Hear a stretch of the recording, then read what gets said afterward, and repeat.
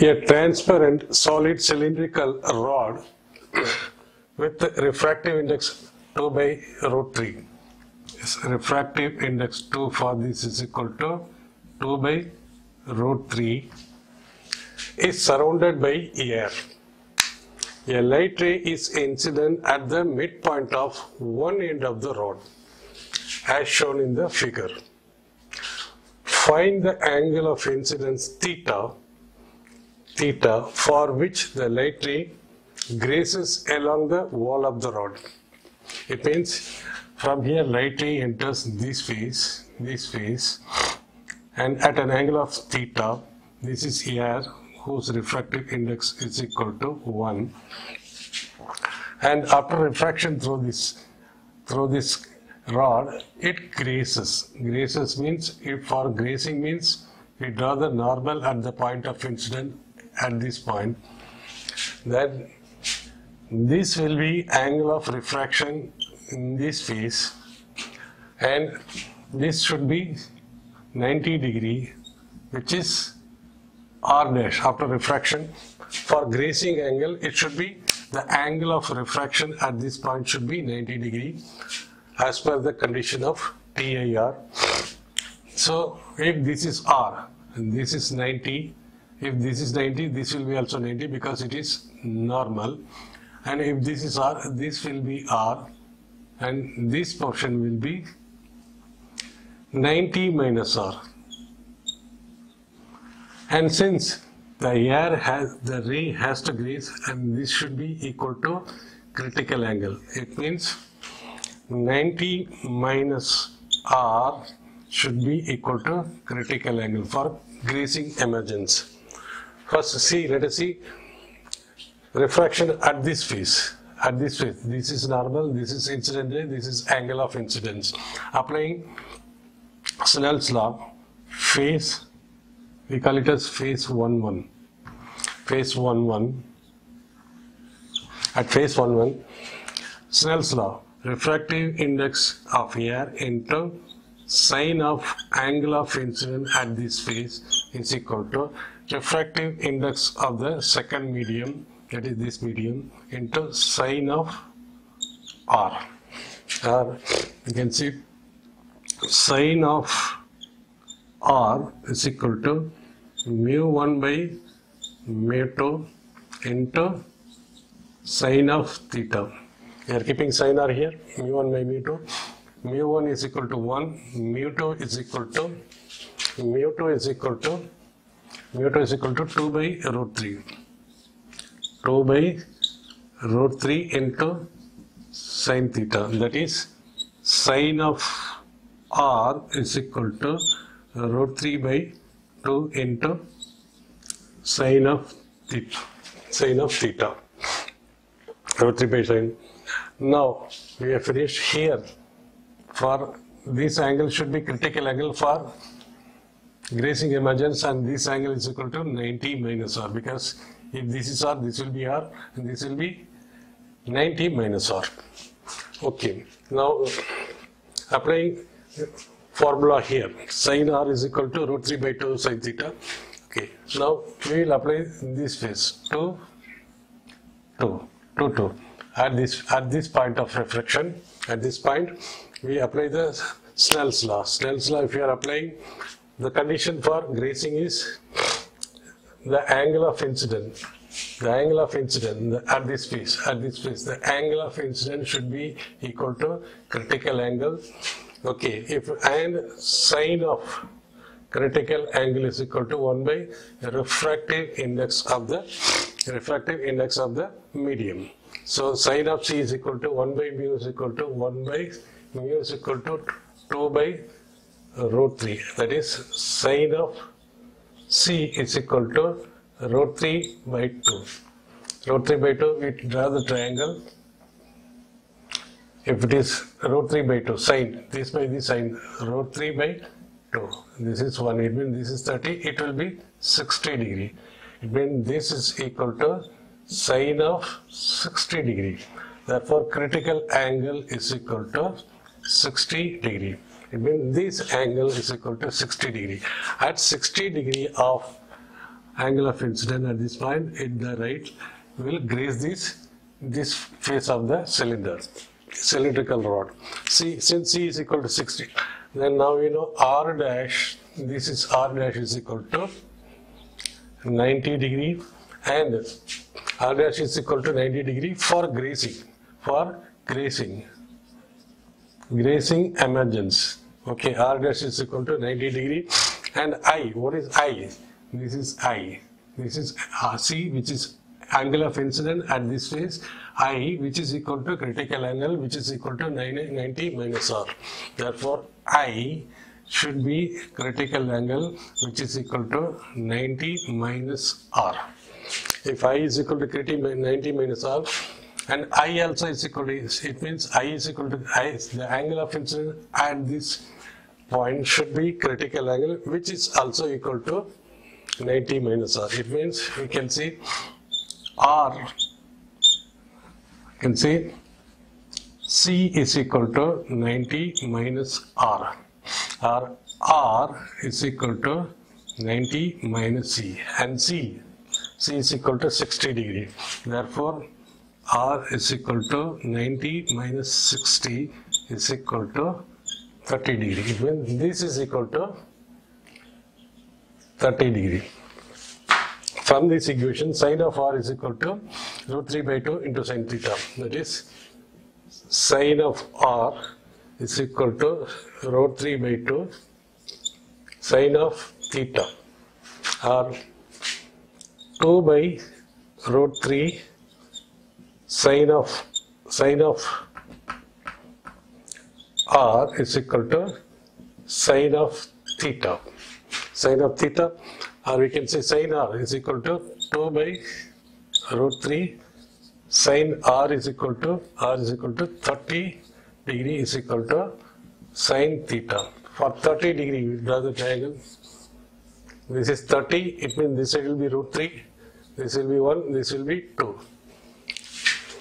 this right angle triangle using Pythagoras theorem so sine 30 is equal to half 2 by root 3 into sine 30 is equal to 1 by 2 is equal to sine theta. Cancelling this and this, sine theta is equal to, sine theta is equal to 1 by root 3. Sine theta is equal to 1 by root 3. So we have to find out the angle of incidence theta. Angle of incidence theta. Theta means we take the theta, keep the theta here, and take the sine that side. Sine inverse 1 by root 3. This is the angle of incidence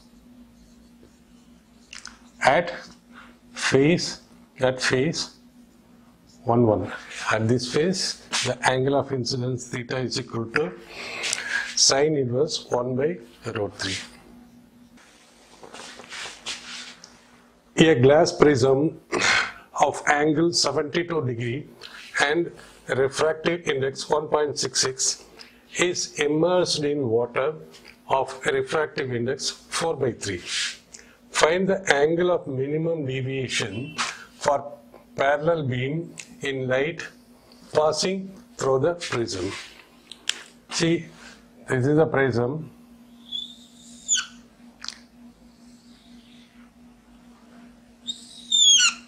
It is immersed in water immersed in water. It means the refractive index, this is glass. Refractive index of glass. This is refractive index of water. Its angular prism is equal to prism angular prism is equal to 72 degree. 70 degree. So the find the angle of minimum deviation parallel beam in light. It means light is light is passing parallel to this through this prism. The refractive index of water. The refractive index of water, it is always with respect to air is equal to 4 by 3. 4 by 3 that is equal to 1.33 and prism refractive index of the prism 1.66 that is refractive index of the prism with respect to air is equal to 1.66. Already we have seen if there are three mediums like this, this is air, this is water, this is glass, water, refractive index of water with respect to air into refractive index of glass with respect to water into refractive index of air. Air with respect to glass is equal to 1. It means we need refractive index of glass with water. Refractive index of glass with because the glass is immersed in water. So we want refractive index of glass with respect to water is equal to 1 by refractive index of water with respect to air into this is air. This is refractive index of air with respect to glass. When this we take it up, this will the sign will reverse. That is refractive index of glass with respect to air. This is, is equal to refractive index of glass with respect to refractive index of water. Since here is water, here is glass. So beam is incident on this face. This is the normal.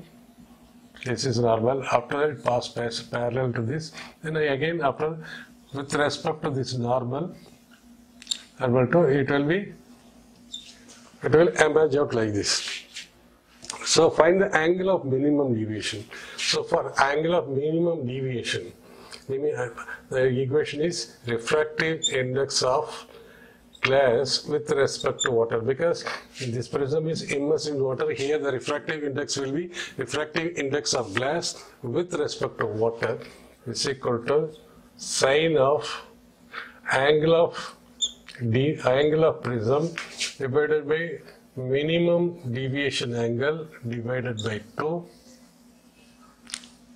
divided by 2 divided by sine of angle of prism divided by 2. So this is this we can find it out using this relation that is refractive index of glass with respect to water. Refractive index of glass with respect to water is equal to refractive index of glass in the air according to this equation divided by refractive index of water with respect to air which is equal to refractive index of glass is 1.66 divided by refractive index water 1.33 okay so it means this value is equal to this much. So we can write sine of A plus A we can call A is equal to 72 degree. It is given 72 degree. Angle A is given 72 degree. 72 degree plus minimum deviation divided by 2 divided by sine of A.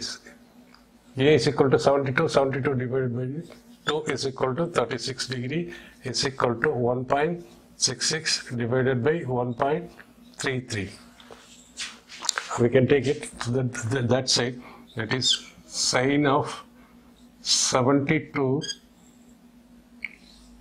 by 2 plus minimum deviation angle by 2 is equal to 1.66 divided by 1.33 into sine of 36 degree. So it is sine of 36 degree. In that case, sine of 36 degree value can be find out using the table. So we can we take the sine that side. That will become 72 by 2 is equal to 36 plus minimum deviation by 2 is equal to sine we take that side it will become sine inverse 1.66 divided by 1.33 into sine of 36 degree. Or minimum deviation angle divided by 2 is equal to sine inverse sine inverse 1.66 divided by 1.33 into sine 36 degree since that goes here minus 36 degree. You, when you take the value of degree and put it, put the radian value here. You will not put 36 value, 36 convert it into radian and should be put here. So angle of minimum deviation is equal to sine inverse of 1.66 into 1.33 into sine of 36 degree minus 36 degree. The value of 36 degree should be put in radian value. Radian value and multiplied by multiplied by the 2 will go there. This is the value of angle of minimum deviation which is nothing but 2 into 2 into sine inverse 1.66 divided by 1.33 sine of 36 degree minus 36 degree. On simplification on simplification the value of minimum deviation comes out to be comes out to be 22.22 degree 22.22 degree a ray of light is incident at an angle of 60 degree. That is incident angle is equal to 60 degree on a face of 30 degree prism. It means angle of prism is equal to 30 degree. The emergent ray from the prism. So let us draw the prism.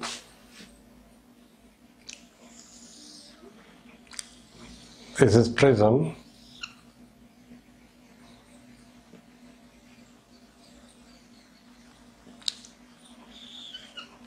This is incident ray and normal. Incident ray normal making an angle of I is equal to 60 degree and the angle of prism is 30 degree. This is face A, face AB, face AC. This is angle of prism is equal to 30 degree. The emergent ray from the prism, emergent ray from the prism, it means ray is emergent, makes an angle of 30 degree. It means the emer so after refracting, I can say this is emergent ray taking 30 degree with the incident ray. So in, this is the path of the incident ray and this is emergent ray, this is a path of the incident ray. The angle between incident ray and emergent ray is the emergent ray from the prism makes an angle of 30 degrees. It means this is incident ray path, this is emergent ray. So the angle between path of the incident ray and the emergent ray, which is nothing but the angle of deviation. So angle of deviation is also given 30 degree. Show that emergent ray, emergent ray is normal to the surface from which it emerges. It means we have to show this is the surface from which the ray emerges. And here also it undergoes refraction, but we have to show that on emerging from from this face, it is uh, from which it emerges. It emerges normal to this face. It means it emerges perpendicular to this face. It means the ray emerges out normal to the face AC. Okay, now first it is given data is since we know deviation is equal to angle of incidence, so this we can call it as with the, with the normal, the emergent ray is making an angle of R1 and this is R2 which is the angle of incidence of the ray at the face AC R2 and this is angle of emergence. This is angle of emergence. So we have to show the ray is emerging normal to this. It means we have to show E is equal to 0. If E is equal to 0, the ray is falling at this phase normal. It means when it is falling normal to this phase, the angle of incident at this phase will be also equal to 0 and the angle of incident at this angle of refraction when it comes out that will be also equal to 0 because it passes the ray passes normal to it. It means it is passing along the normal. It means along the normal means incident ray at this phase and emergent ray at this phase making zero angle with the phase AC so so I plus emergent this plus this minus E so emergent angle is equal to emergent angle is equal to minus I plus E. This is 30 minus I is equal to 60 plus E is equal to 30. So emergent angle is making a zero angle. That means what? Therefore emergent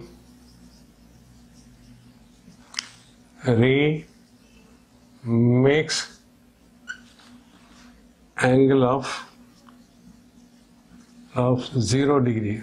That is normal to phase AC therefore emergent angle is equal to 0 then R1 R2 which is the angle of incident at phase AC that will be also equal to 0 because if it is incident if this ray is incident on this phase at normal, then angle of incident is equal to 0 and angle of emergence will be also equal to 0. This will be equal to 0 or we can say R2 is also equal to 0. That is E is equal to 0 then R2 also equal to 0. Then we can find out angle of incidence. Angle of incidence since A is equal to R1 plus R2. So A is equal to 30 and R1 we have to find out. And R2 what is R2 R2 is equal to 0 therefore R1 is equal to 30 degree. So this angle this angle R1 is equal to 30 degree. So so so that the emergence is normal to the surface. Yes we already proved the emergence is normal to the face which it emerges. Calculate the refractive index of the prism. To calculate the refractive index of prism, we'll apply the sign convention, uh, Snell's law. Snell's law, mu, at this point mu1, this is mu1, this is mu2, applying Snell's law at the face AB.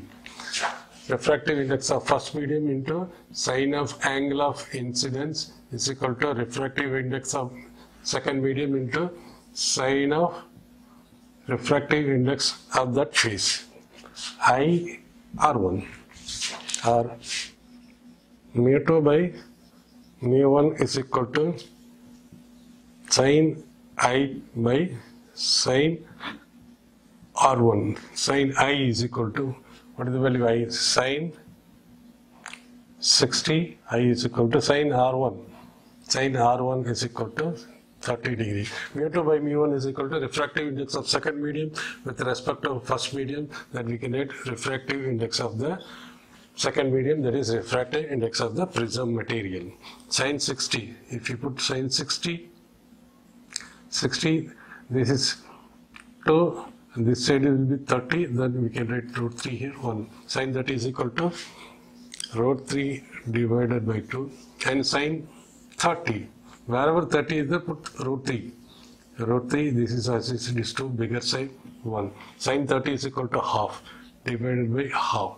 This 2 to get cancelled is equal to root 3. Refractive index of the medium is equal to root 3. Therefore, the refractive index due to of the medium is equal to material of the prism is equal to root 3. Mu is equal to root 3 plus and since emergent angle is equal to 0 the emergent ray makes an angle of 0 degree. 0 degree. That is normal to the face AC